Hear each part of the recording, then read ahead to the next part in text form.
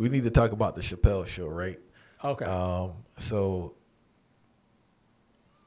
all right. So you were dealing with the the sketches from a director's standpoint. That was your assistance, right?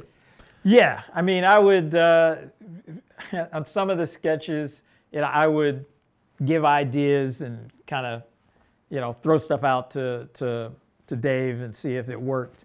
Um, like the, the Mad Real World sketch. There's a I don't know if you remember that, but there's a scene I in wanna- I wanna there. get- that's one of the funniest ones too. But Oh, yeah, I want to start with this blind white supremacist fight. Okay, this is like the classic one everybody loves.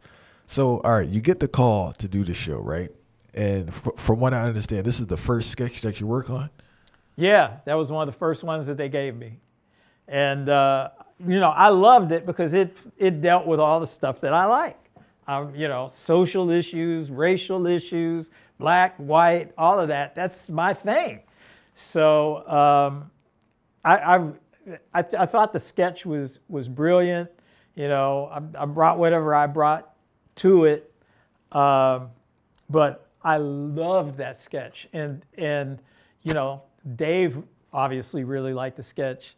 Um, I remember uh, that, you know, after we we did it, uh, Comedy Central was like, "Oh, Dave, you, can't put this in the first episode. It's too crazy.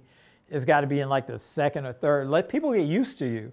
And and Dave, who has never been afraid to speak his mind, said, "If it's not in the first uh, episode, I quit." The show hadn't even aired yet. He didn't even got all the money in his pocket from the first season yet. And he's ready to walk away from this thing. And so uh, it ultimately ended up being in the first show, and it create it.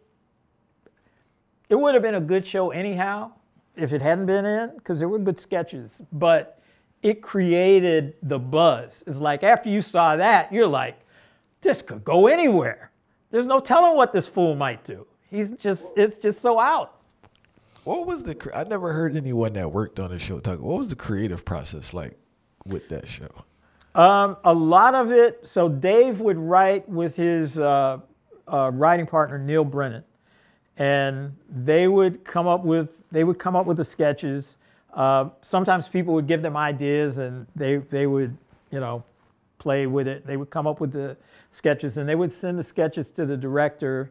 Um, for the most part, it was me and one other guy. Neil did some in the last season, but um, they would send, you know, I'd get a, a like maybe six or seven sketches that they're like, okay, this is what we're going to do in this block. And I would, I've, I've lived out here. I fly back to New York.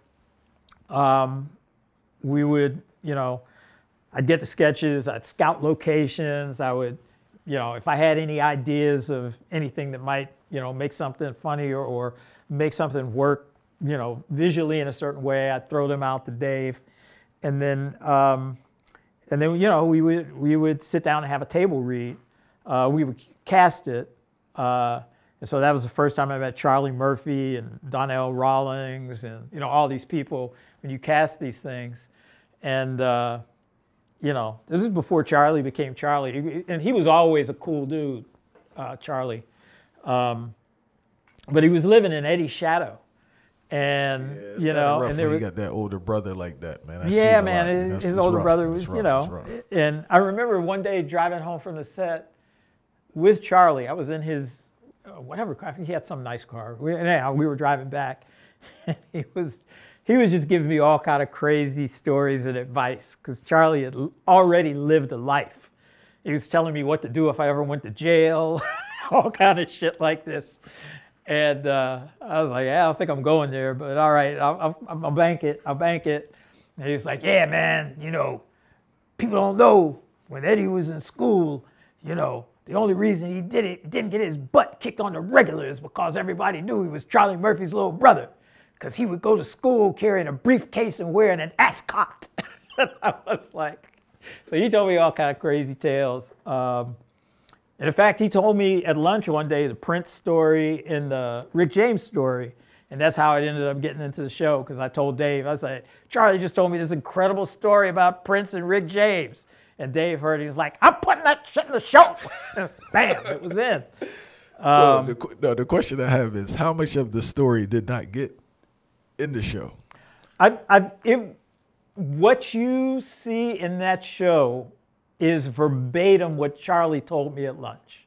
He, we were just sitting at lunch. I think we were doing a player, uh, what was it, Time Haters, where they would all dress like pimps and, you know, and go around. And, and we were just at lunch, and Charlie just he was like, "Let me tell you about the time I went up to Prince's house to play basketball." I was like, "Okay." Let me tell you about the time that Rick James. And I was like, "Okay." Said he had a bad cocaine problem. so he, How did how did story. Charlie Murphy even end up on the show? He ended up on the show. The first one was uh, uh, what you call it, uh, um, Mad Real World. So he was cast in a Mad Real World, and uh, that was an interest. I think that was. I'm pretty sure that was the first one. I'm pretty sure that was the first one. I could be wrong, but I'm pretty sure that was the first one. And that I, I, I unless it was, nah, it had to be the Mad Real World. Um, but anyhow, Charlie, Charlie and uh, was it Charlie and Donnell? Uh, I'm trying to remember because there was a scene where, you know, uh, the white the white dude that came to live in the house with all the black people because it was just flipping the script on the real world where Yeah, it was yeah, like yeah. yeah, They every, was there was always always one black, black person. They always made him look nuts. So they're like, okay, it was going to be all black people, and one white dude's going to show up. But then when he showed up with his girlfriend, they, they had this kind of beat in there that, you know, they were kind of like looking at his girl. And I remember that that's like one of the things I had. I was like, oh, we can we can make more of that. So it was like it went from them looking at the girl to her like being down with it and getting in bed with him while they were doing her, and he's like watching this, looking all sad. It was just cra- it got really crazy. But Charlie, Charlie came in, and uh, he, you know, he was he was just Charlie. Charlie is just Charlie, or was just Charlie. He, that's I was so sad that he's gone, but he was just a cool dude. All right, and um, I wanted to ask you too with Dave Chappelle, right? Um, do you think he's more brilliant writing the sketches or with the filming or as a stand-up comedian? He's, just brilliant in he's just he's just brilliant. He's a really smart guy. Um, self-learned, I guess, a lot because I don't think he went to college, but he reads a lot. I remember he told me a story about being at a party with a bunch of super intelligent black folk and white folk. he said that uh, uh, I'll mess it up because I'm not as smart as Dave, but he said that you know they somebody was doing a quote and they quoted they quoted uh, a poem. I can't remember the poem, but at the end of the the person said this. Uh, I think it was uh, Maya, Maya Angelou. She made this quote. She said, "Blah blah blah blah blah blah." You know, kind of that Maya Angelou voice. Yeah, Blah, blah, blah. And then she said, "Langston Hughes, such and such and so and so." And Dave said to me, he's like, and she said, the one poem I know. And I'm like, no, I doubt that. He said, but I knew it wasn't Langston Hughes. So I said, excuse me, that wasn't Langston Hughes. It was, the poem was X, Y, and Z, and it was Countee Cullen. And he said, everybody would sigh. And he said, that's right. I corrected America's poet. So Dave is just a smart dude. Do not be fooled by any shenanigans or anything like that. The guy is brilliant, and uh, he he knows how to he knows how to frame things. I wish he would go back and do some more sketch stuff, but I love all the stand up. He's just a brilliant man.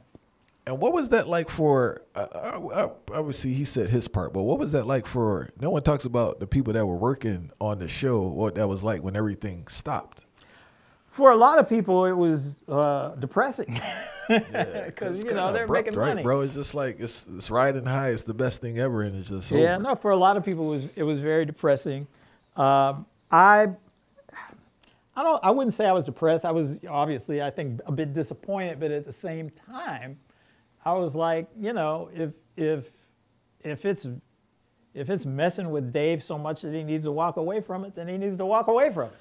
What was the issue? They wanted him to do more extreme stuff, or he just didn't want to do it anymore. Or what was the story? He, I think he had an, he, he just. This is what I, I think it was. You'd have to ask Dave. Um, the first season, I remember talking to him, and he would be like, you know, his attitude was, "I'm sticking it to the man." Yeah. I'm saying, you know, because they didn't want the blind supremacy sketch to go on. Second season, we did the Niggar family, if you remember that one. And that was crazy. That news was wild. Yeah, they did not want that to go on. And he forced all this stuff to go on. So he was like, I am forcing them to, to, to, to I'm forcing my voice on these people that don't want it. Yeah. But then the third season, where they're offering him 50 million or whatever, he, I think he felt like, wait a second, am I really, am I really tweaking them that much? If they want Yeah, yeah, giving me that's- 50 yeah, million, they want more they're of it, like, yeah, attaboy, keep it up. So he started to question the value, I think, of this is my opinion of what of what he was doing and how it was being perceived, and I think that was the big problem. So, you know, if uh, he's a he's an artist, man, so you, you got to just kind of respect his process and what he needed to do. He needed to step away.